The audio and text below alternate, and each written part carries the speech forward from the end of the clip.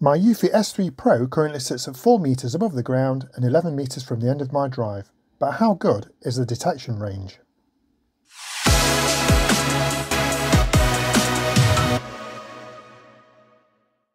My S3 Pro easily detects people at around 11 metres away, despite where the movement is captured.